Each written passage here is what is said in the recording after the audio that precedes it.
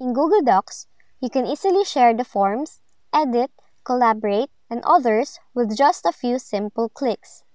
By adding a few multiple choice questions, you can create an interactive form within minutes. To start, open Google Docs, click on File, and then hover over New.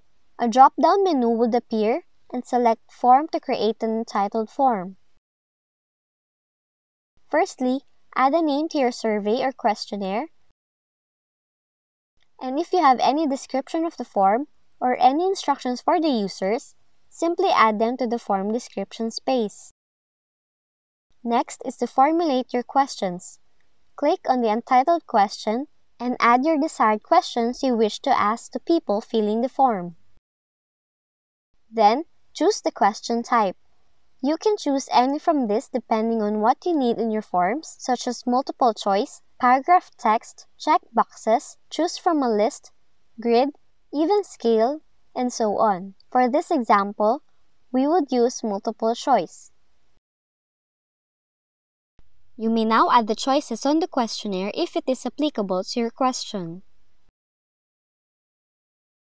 But there's also special side menu options that will help you to format your questions further, such as add questions, import questions, add title and description, add image or video, and add sections.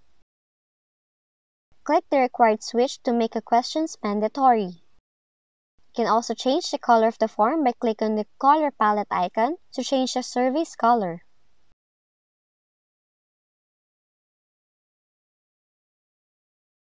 You may now create many questions as you'd like.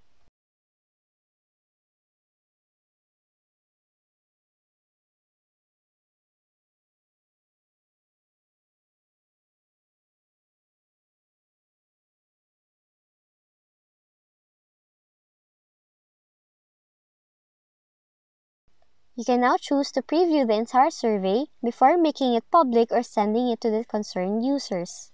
You can do this by simply clicking on the eye icon on the top right corner for preview.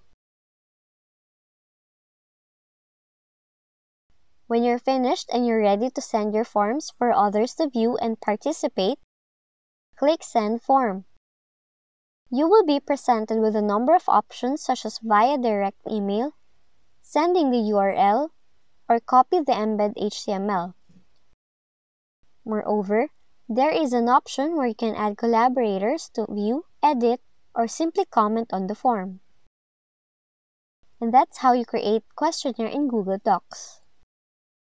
If you found this video helpful, kindly like and subscribe. You may also click and turn on the notification bell so you can be notified from whenever we release new videos.